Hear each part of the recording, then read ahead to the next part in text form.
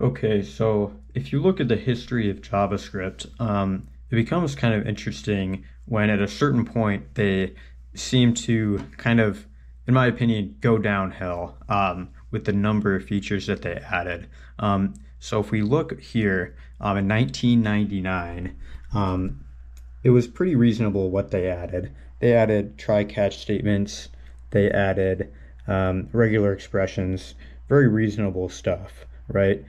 Um, but really in 2000, and again, more sort of minor features, I would say. But in 2015, this is called ECMAScript 6, and this is where the number of features just seems to like go up exponentially.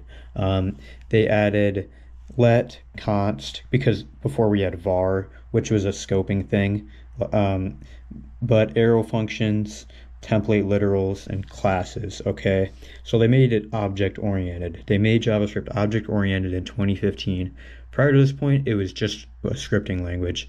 Um, and at this point, I think it pretty much evolved um, to a point where people would, you know, it kind of evolved into a programming language. Before it was scripting, it was just simple web scripting. Like in 1995, they needed, whoops, oh, whoops, yeah, 97. So they needed some way to manipulate the DOM. Like they had Netscape um, fighting with Internet Explorer, and they just needed some way to to manipulate a web page, to move around a header, to move around a div, to move around something, and just have provide some sort of interactivity. So this guy made something that was pretty rushed. You know, he admits it was pretty rushed, um, and you know, JavaScript again written in ten days. It's not a myth. It you know he he says it is was pretty rushed, and yeah, they patched a lot of stuff later, but the initial design of something does dictate you know how it is even after 20 years. Like we're still living with it. Um, what was I to do? And so over time, as we've grown, I don't know, more dependent on the web, I guess, as more and more complex applications have grown, um, the language itself has evolved as well. Um, and especially in the case of single page applications or SPAs, um, which honestly, at that point, if you're building an SPA, you need JavaScript. You need a lot of JavaScript. Therefore, you need classes. You need maybe more features. So that makes sense. But the problem is most websites aren't SPAs. Most websites are actually static or more static on the spectrum of being, you know, interactive, right, functionality, and then the other spectrum of it being very static. And I'll even show you, you exactly what I'm talking about. So if we look at this website, this is Jamstack. Um, Jamstack was this trend a couple years ago. It was just another name for static websites. They were just you can think of like Hugo, certain static site generators. It doesn't really matter. Just to study here is what's important. Um, but if you look here, types of websites built in the last 12 months, um, you can see on one spectrum you have SPAs, on one spectrum you have fully static. And if you look at the blue, if you look at the blue, it's slightly more, it is more static than it is SPA. Fewer websites are SPA by you know a small margin, but the most are in the middle. But more are fully stat, you know, mostly are fully static, meaning you know less interactivity is the norm.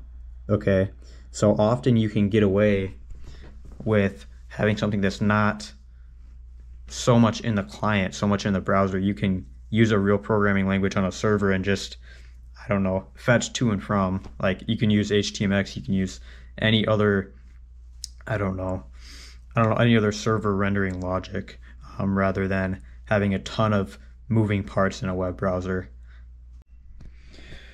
Um, so any any technology, uh, any framework, any website, any any anything at all accrues technical debt as it grows older, as it adds more features and complexity. Um, you know, if you look at a language like Go, it's like this incredibly simple and minimal language, right?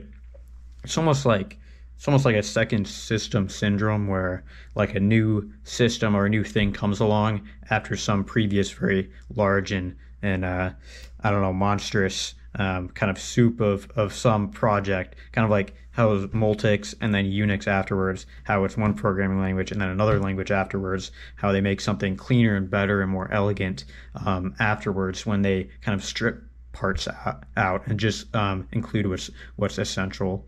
Um, I think JavaScript has been around for like 25 years, so it just it's just accrued a lot of technical debt. I think that's the reason why, and I think any language um, that's lived that long will probably suffer the same. Um, so, anyways, um, I just talk um, from a person who uh, is about to graduate computer science and has worked two internships uh, dealing with a lot of JavaScript. So take my word with a grain of salt. Um, and if you want to see more videos of me pretending like I know what I'm talking about, leave a like. Thank you.